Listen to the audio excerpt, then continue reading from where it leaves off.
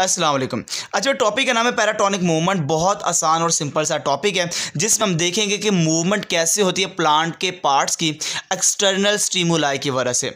मतलब कि paratonic movement की पहचान है कि एक्सटर्नल स्टीमुलाई की वजह से प्लांट के पार्ट्स का मूव करना they are called paratonic movement है। इसके हमारे पास आगे फर्दर टाइप्स है, जैसे कि ट्रॉपिक मूवमेंट जो ट्रॉपिक वर्ड है, ये डराइव किया गया एक ग्रीक वर्ड से ट्रोपस और ट्रोपस का लफ्जी मतलब होता है टर्न होना। टर्न उसकी तरफ़ टर्न होना किसी बॉडी पार्ट्स के, किसी की तरफ़ झुकाव झुक जाना they are called tropic movement है। जैसे यहाँ पे मूवमेंट होगी कर्वेचर ऑफ़ ऑर्गन्स टूवर्ड या अवे ऑफ़ स्टीमुलाई जो स्टीमुलाई है, उसकी तरफ़ मूव करना या उससे अवे मूव करना ऑर्गन्स का कर्वेचर फॉर्म है, इसको नाम देते हैं को ट्रॉपिक मूवमेंट है। इसके हमारे पास आगे फर्दर फाइव टाइप्स है। एक है फोटोट्रोफिज्म कीमोट्रोफिज्म हाइड्रोट्रोफिज्म जियोट्रोफिज्म और थिग्मोट्रोफिज्म अब फ़ोटो का मतलब होता है लाइट कीमो का मतलब होता है केमिकल हाइड्रो का मतलब होता है वाटर जियो का मतलब होता है ग्रेविटी और थिग्मो का मतलब होता है टच अगर मैं कहता हूँ the movement of parts of plant in response to stimuli of light light की वजह से मूवमेंट होना। दे आर कॉल्ड फोटोट्रोफिज्म है। जैसे स्टेम जोन से वो मूव करती है टूवर्ड लाइट ये पॉजिटिव टू फोटोट्रोफिज्म होगा। और रूट जोन से वो अवे जाती है लाइट के, ये नेगेटिव फोटोट्रोफिज्म होगा। Chemotropism the movement of parts of plant in response to stimuli of chemicals वही लाइन जो यहाँ पे लिखी है, यही कॉपी पेस्ट यहाँ पे करनी है। सिर्फ़ केमिकल लगा देना है।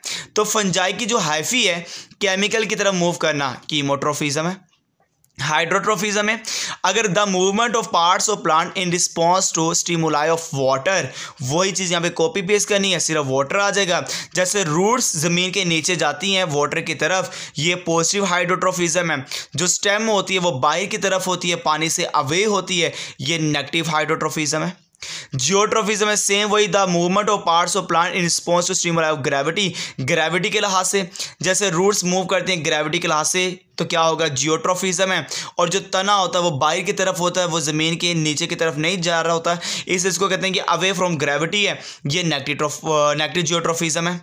Thigmotropism the movement of parts of plant in response to stimuli touch वही लाइन सारी यहाँ पे लिखे, सिर्फ़ टच आ जाएगा।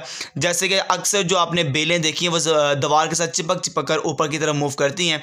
या कोई आप ये कह रहे हैं, बाँस के साथ वो लग कर ऊपर की तरफ़ मूव करती हैं। तो क्लाइंबिंग ऑफ़ वाइन जो एग्ज़ाम्पल वो क्या है? थिग्मोट्रोफिज्म जो टच की मदद से मूव कर होती है।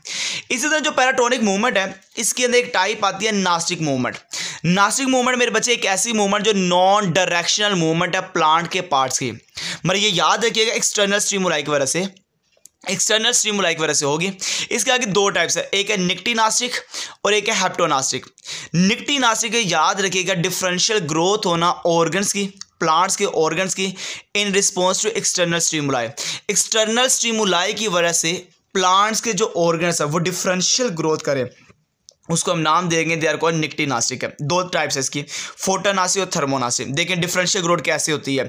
ओपनिंग और क्लोजिंग कैसे होती है आपको मैं बताने लगा फोटोनासी क्या होता है? Movement of parts of plant due to photo period photo का मतलब फ़ोटो पीरियड तो इसमें ओपनिंग एंड क्लोजिंग जो फ्लावर्स की होती है, वो कंट्रोल होती है फ़ोटो पीरियड के ज़रिए से। और फ़ोटो पीरियड की वजह से जो मूवमेंट होगी प्लांट के पार्ट्स की देर कर फोटोनासी है। जैसे सर्दियों में, सर्दियों वाले फूल खिलते हैं, गर्मियों में गर्मियों वाले फूल खिलते हैं, इसका मतलब कुछ सब्जियों सर्दियों वाले प्लांट होते हैं कुछ सर्दियों वाले प्लांट होते हैं, कुछ गर्मियों वाले प्लांट होते हैं तो हर एक प्लांट की जो ओपनिंग और क्लोजिंग फ्लावर्स की है, वो बड़ा कंट्रोल कर रहा होता है, ये आपका जो डे और नाइट का साइकिल है। उसको कहते हैं फ़ोटो पीरियड तो फ़ोटो पीरियड की वजह से ओपनिंग और क्लोजिंग होना फ्लावर की आर कोल्ड फोटोनासी है। थर्मोनासी में मेरे बच्चे मूवमेंट होना पार्ट्स ऑफ़ प्लांट की ड्यू टू टेम्परेचर है। जैसे ट्यूलप जो ट्यूलिप का फ्लावर है, ये रैपिड क्लोज करता है रात को। रैपिड क्लोज करना रात को टेम्परेचर के कम होने की वजह से ये थर्मोनास्ट्री है। हेप्टोनास्टिक मूवमेंट मेरे बच्चे, याद रखिएगा movement of parts of plant तो है।